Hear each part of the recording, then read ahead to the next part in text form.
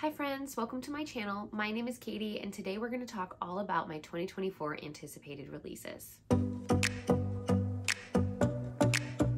So I just wanted to preface this video, I've had to preface a few of them now, that I am sick. So I apologize if I sound under the weather. It's because I am. I figured you guys wouldn't want to sit here and listen to me talk about 30 books. So instead I narrowed it down to 10 books that I am so excited to get my hands on, so excited to sit down and read. These are the top 10 that I'm really, really looking forward to in 2024. The first book is No One Can Know by Kate Alice Marshall.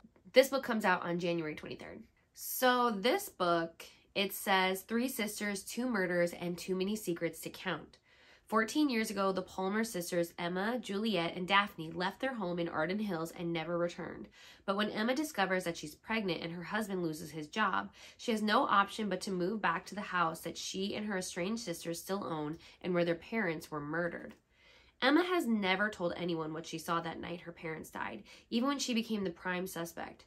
But as her presence in the house threatens to uncover secrets that have stayed hidden for years, the sisters are drawn together once again, and Emma begins to wonder just what her siblings will do to keep the past buried and whether she did the right thing staying quiet about what was whispered that night. No one can know. The first question I have is why would you keep a house where your parents were murdered? That seems sus. I just truly think Kate Alice Marshall has a great way of telling a thriller. Granted, I've read one. I've read one book, but I'm a fan. So I absolutely can't wait to pick this book up. And most of you have probably already gotten this book because it was a book of the month pick. The next book is Crescent City 3, which comes out on January 30th. This should be no surprise. I feel like so many of us are prepared for this book. Well, probably not emotionally prepared, but we are ready to have it in our hands and we are ready to be hurt again. What I will say is I think Crescent City has a good group of characters, characters that you will grow to care about, and I think this story is developing and we will see where it takes us in book 3. Then we have Ashes of You by Catherine Cowles. This comes out February 8th. This is going to be the last and final book in the Lost and Found series. The Lost and Found series is a romantic suspense series where we're following the Hartley family. I am obsessed. We are going to be getting Lawson's book. I think it's going to be a single dad nanny romance, which as you guys know, I'm obsessed with right now. I am in my single dad nanny era and I'm not complaining. I'm a fan. I am 1000% a fan and I love Lawson. Getting to know him through the other books, I've just really grown so attached to him and he deserves his happily ever after and I cannot wait to see it. Then we have A Witch's Guide to Magical Innkeeping and this comes out on April 2nd. And let me tell you guys right now, I have a bajillion books that I'm looking forward to in April. April, I will be busy. April, I will have no time for anything else other than these books because April 2024 is a good freaking month. But this book um, is also written by the same author who wrote The Very Secret Society of Irregular Witches, which I loved so much. This book, it says, it is an enchanting novel about a witch who has a second chance to get her magical powers and her life back on track. Sera Swan was once one of the most powerful witches in Britain. Then she resurrected her great aunt Jasmine from the very recently dead, lost most of her magic, befriended a semi-villainous talking fox, and was exiled from her magical guild. Now, she, slightly reluctantly and a bit grumpily, helps Aunt Jasmine run an inn, where she deals with quirky guest shenanigans, tries to keep the talking fox in check, and longs for the magical future she lost. One, the cover is beautiful, and two, I just, I expect the story will be absolutely magical and captivating, so I cannot wait to have this book. The next book we have also comes out on April 2nd, and that is Just for the Summer by Abby Jimenez. I'm very simple. If Abby writes it, I'm going to read it. That's just how it works. That's just the rule. And I also was very fortunate that I was able to meet her in 2023. I went to her book launch for Yours Truly. She's such a sweet person. She ended up staying super late at that event because there were so many people and she was really kind to literally every person there. She has made a fan out of me. I adore her. I cannot wait to hopefully see her again for this book. But let's get into what it's about. Just for the Summer by Abby Jimenez is a good fit for those seeking a heartwarming and lighthearted romance that explores the themes of love, fate, and the complexities of family dynamics. Because another important thing to mention, for those of you that have never read an Abby book, some things you can definitely look forward to is I feel like Abby is the queen of good dialogue. When her characters are talking to each other, you believe it. You feel like you were right there with them. They just banter so well together I, I've never read anything like it, if that makes sense. And the humor comes across so effortless. Justin has a curse, and thanks to a Reddit thread, it's now all over the internet. Every woman he dates goes on to find their soulmate the second they break up. Ooh, it's giving me like good luck Chuck vibes. Have you guys seen that movie? When a woman slides into his DMs with the same problem, they come up with a they'll date each other and break up. Their curses will cancel each other out and they'll both go on to find the love of their lives. It's a bonkers idea and it just might work. Emma hadn't planned that, that her next assignment as a traveling nurse would be in Minnesota, which by the way, little fun fact, all of her books take place in Minnesota. But she and her best friend agree that dating Justin is too good of an opportunity to pass up, especially when they get to rent an adorable cottage on a private island on Lake Minnetonka. It's supposed to be a quick fling, just for the summer, but when Emma's toxic mother shows up and Justin has to assume guardianship of his three siblings, they're suddenly navigating a lot more than they expected, including catching real feelings for each other. Then we have the reappearance of Rachel Price by Holly Jackson, which also comes out on April 2nd. And again, very similar to Abby, I'm a Holly Jackson stan. She is an auto buy author for me. Um, she's written the Good Girls Guide to Murder series, Five Survive, and I just am in love with her writing. I love her books. They are always such a good time for me. I always enjoy myself. I don't know too much about this book, but I do know that I trust Holly. So let's get into the synopsis. So it says this is a new true crime fueled mystery thriller about a girl determined to uncover the shocking truth about her missing mother while filming a documentary on the unsolved case. Lights, camera, lies. I wonder if the audiobook will be very similar to A Good Girl's Guide to Murder, where if there'll be like a podcast element and it'll have like a full cast. Because if so, I'm gonna have to reread this and do the audio 1000%. For those of you that don't know, A Good Girl's Guide to Murder is one of my favorite series on audio. I recommend it to literally every human I know. When I see somebody reading A Good Girl's Guide to Murder, I recommend like, hey, if you haven't, please consider switching to audio. Please think about it because it's just so well done in my opinion. 18-year-old Bel has lived her whole life in the shadow of her mom's mysterious disappearance. 16 years ago, Rachel Price vanished and young Bel was the only witness, but she has no memory of it. Rachel is gone, long presumed dead, and Bel wishes everyone would just move on. But the case is dragged up from the past when the Price family agreed to a true crime documentary. Bel can't wait for filming to end, for life to go back to normal. And then the impossible happens. Rachel Price reappears, and life will never be normal again. Rachel has an unbelievable story about what happened to her. Unbelievable because Bel isn't sure it's real. If Rachel is lying, then where has she been all this time? And could she have been dangerous? With all the cameras still rolling, Bel must uncover the truth about her mother and find out why Rachel Price really came back from the dead. Okay, yes. Then we have The Rule Book by Sarah Adams, which also comes out on April 2nd. And what I do know about this is I believe it is a continuation of the cheat sheet in some capacity. So what I will say about Sarah Adams is I wasn't the biggest fan of When in Rome, but I loved Practice Makes Perfect. And then I listened to the cheat sheet this year and I also really, really enjoyed that.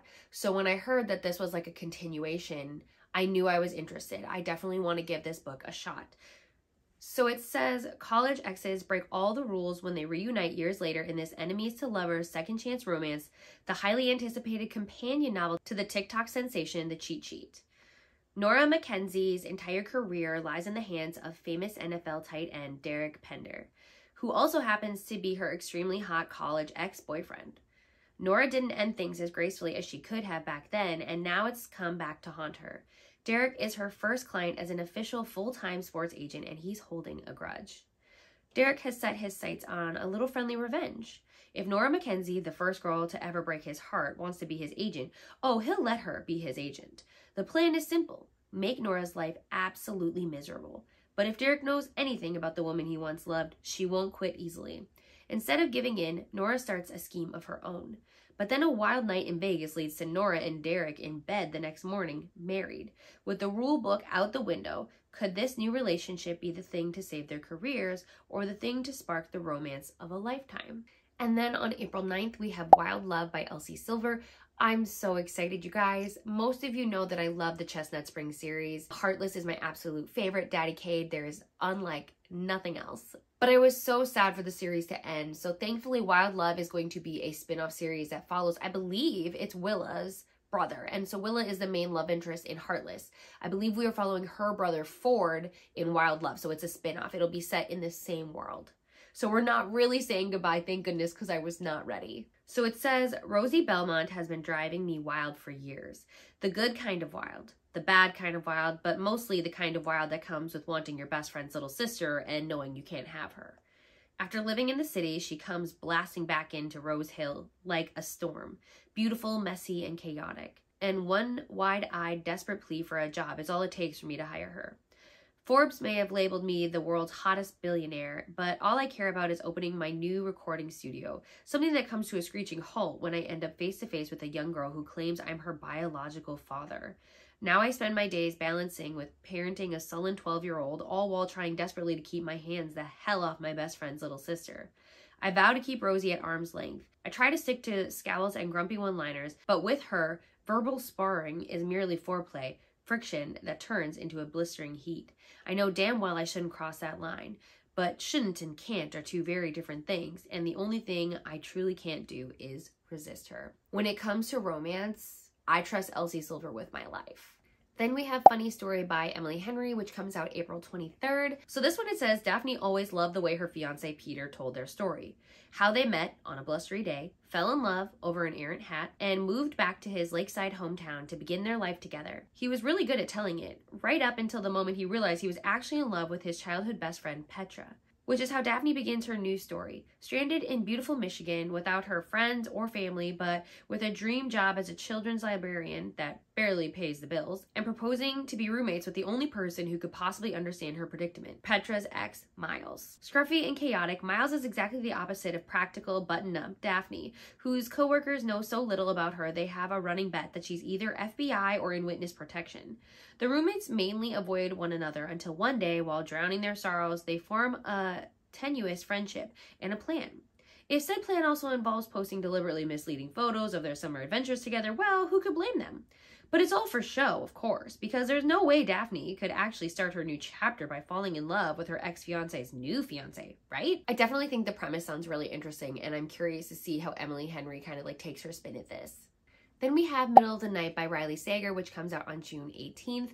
I wasn't sure if I was going to continue reading Riley Sager's books. I've read all of them except for Survive the Night, and they're very okay to me, if that makes sense. They're usually like three stars. I think Home Before Dark is my only four star by him. The synopsis of this one reeled me in. I'm intrigued. I need to know.